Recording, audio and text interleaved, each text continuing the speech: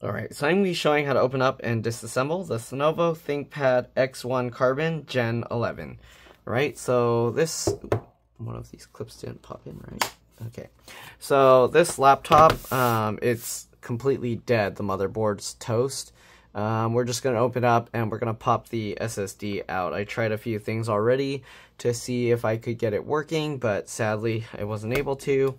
So we're going to pop it open and then test the SSD. And if the SSD is good, then we're going to basically just put in an enclosure. All right, so we're using a PH1 or JS1 screwdriver to undo the screws here.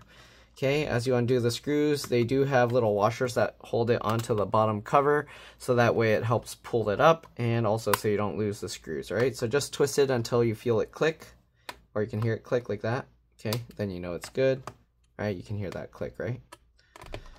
All right, also there's a little hole here for like a reset, battery reset. You can use a little pin, you can use, if you have a sim eject tool that's long enough, a needle. You can use a small folded out paper clip, whatever works to push in that hole. You'll feel it click.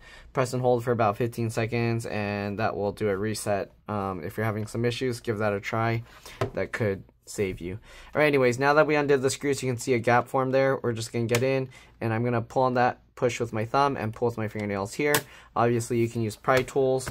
Um, if you get this portion stuck, what you want to do is kind of go towards the center here and then push down the top or what we're basically doing is flexing this inwards like that. So as you work your way, we're basically flexing it so the whole cover goes like that and it pulls the clips out. Right, so as you can see, now we can lift the whole cover and wiggle it, and there we go. Okay, so there's the cover removed. We're gonna also remove the battery here. There's a separate also CMOS, BIOS, RTC, real-time clock battery, whatever you wanna call it there. Okay, so battery for that's under here, but the main battery we're gonna remove. Okay, we're again using the PH1 or JS1 screwdriver. And there's two along the top here, and then one on either side, and then two along the bottom. So basically two, two, and two. All right, so we'll just get all these screws out.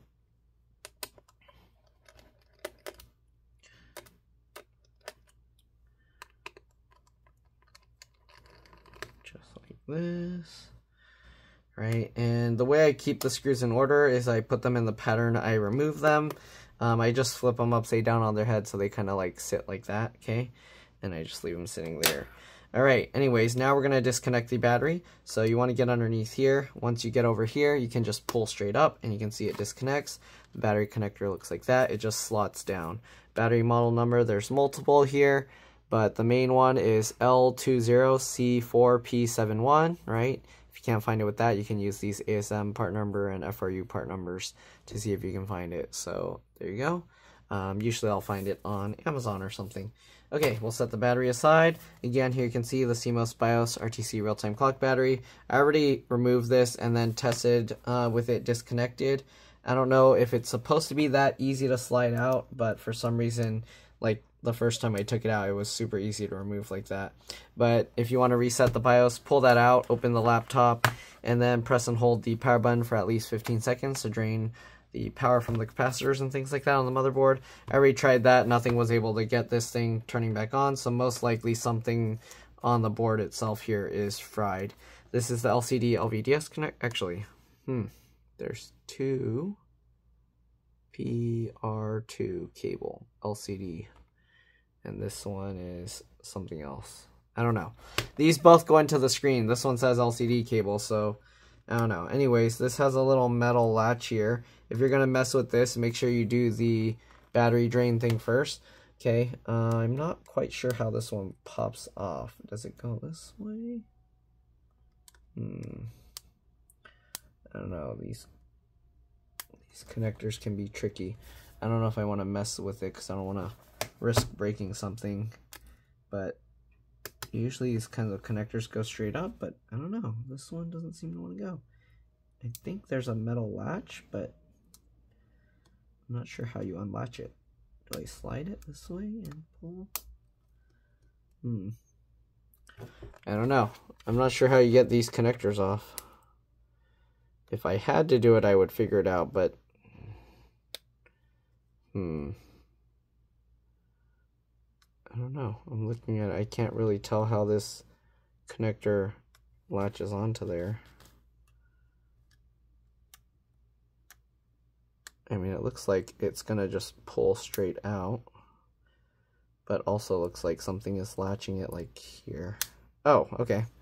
So it looks like it, I pulled from there and that got it out. Oh, it does swing. What the heck? Okay. So this connector, let me see if I can show how it works. I didn't have to undo that latch to get it out, but this thing swings. Okay, so this goes on like that, and then this swings over and clicks down. Okay, but I don't know how you would pull on this from here. Okay, I guess from these two upper corners, you can flip that, and there you go. And then you could technically use this to kind of grab and pull it up like that. Okay, but the first way, I don't know if you can see, but the latch is here on the sides, here and here. Okay, so the way I took it out originally is I basically just pulled that latch away from the connector. So with my fingernail, I just went under that side and pulled that part of the tab outwards. You can see how it kind of releases it. And then that just let me pull the whole connector up. So yeah, I guess you technically don't need to flip the whole latch over, but that worked. Okay, we'll latch that back over. CPU's under here, soldered to the motherboard. All right, heatsink obviously to there. Two fans, both connected to this one connector here. These, I just grab the wings with my fingernails and then just wiggle, wiggle, and it pulls out like that. Okay, but I'm going to push that back in and leave it. There's no removable RAM here. It's soldered to the motherboard, logic board, whatever you want to call it. And then you got the M.2 PCIe NVMe SSD here. You got this little connector here that just pops up like that. Okay, and that connector, um, I believe is just for the touchpad, yeah. Looks like it goes straight to the touchpad. Um, you got, what are these little connectors? Okay. Um, I think this goes to the little touch scrolly thing in the middle of the keyboard, and then there's a cable that goes here. I don't know where it's going to. I think it's all going into this one piece for the keyboard as well as that. So the keyboard very likely all connects there, and there's a little flip latch mechanism here that you flip that plastic piece up, then you can pull the cable out, but I'm going to leave that in there. Okay, um, you got a cable here going to this speaker here, and then it goes around, and I'm pretty sure it goes to the other speaker there, and then you got another one over here, you got this cable here going to this speaker, which has another wire going down to this speaker. Okay, um, not sure there's really much else. I don't know what this two pin connector down here is for, but there's one. Wireless uh, card is soldered to the motherboard, logic board. Um, if you want to remove the antennas, go from the tails, pull straight up. And I believe this is for the power button here. So this again has a flip latch that you flip up. You can pull that cable out, but I think there's adhesive and stuff holding it as well.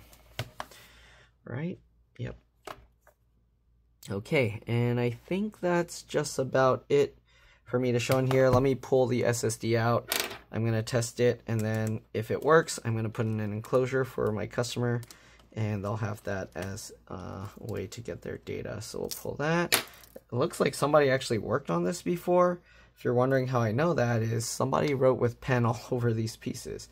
Anyways, we're going to carefully lift the SSD up here just slightly. Don't pull it up too high and then wiggle and pull that out. And there's the SSD. It's a Samsung SSD, but it's like a generic one, right? I'm pretty sure it's a NVMe, PCIe NVMe. And yeah, they have a thermal pad under there and nothing else to show here. So I don't know what the other person did with this um, earlier. There's also a thermal pad on the bottom of this piece. So I don't know what the other person who opened this did. So everything else looks connected properly. So yeah.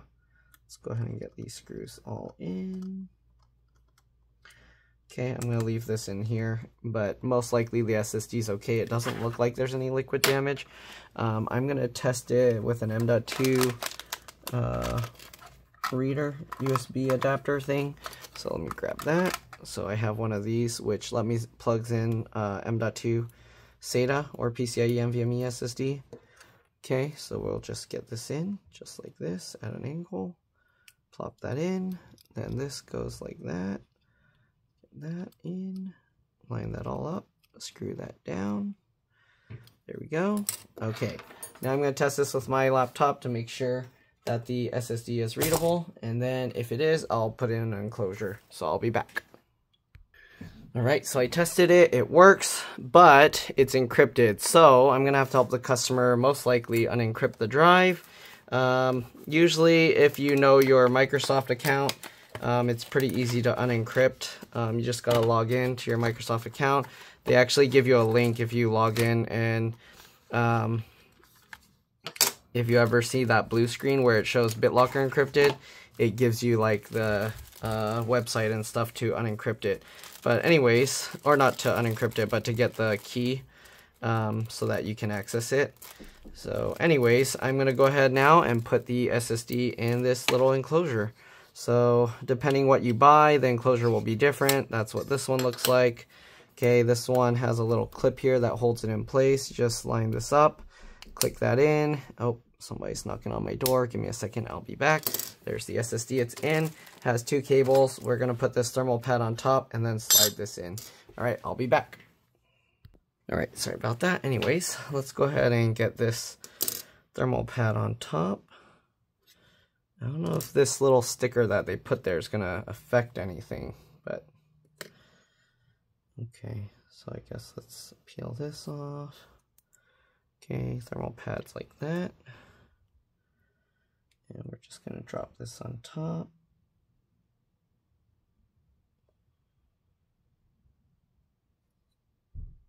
Just like that. Okay.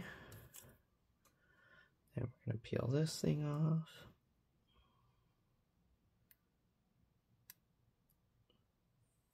Just like that.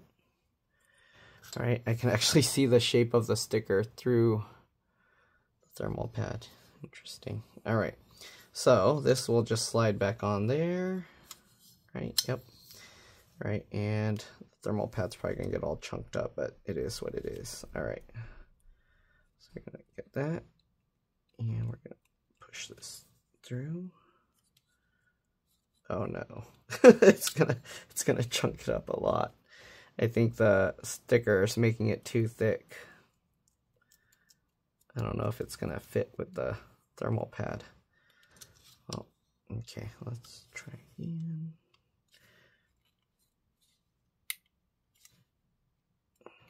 Yeah, I don't know if it's going to work with the thermal pad because the sticker, I think, is making it too thick and it's just tearing it up.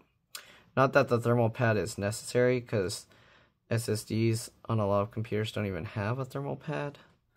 But let's see if I can peel off this sticker and if that will help.